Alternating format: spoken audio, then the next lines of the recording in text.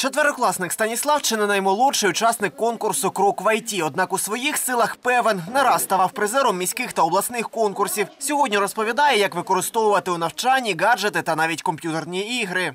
Учиться нравится. Я вот, хот- вот очень много учеников, которым просто лень это делать. Я вот хочу, чтобы люди также стремились, поэтому думаю, что IT-технологии должны помочь их, привлечь надо.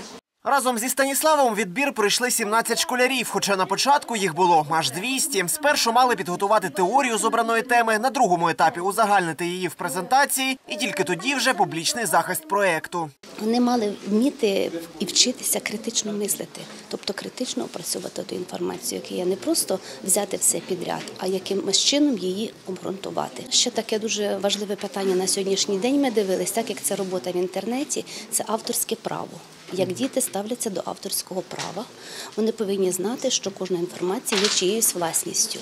В організації it конкурсу допомогла одна з міських комп'ютерних шкіл.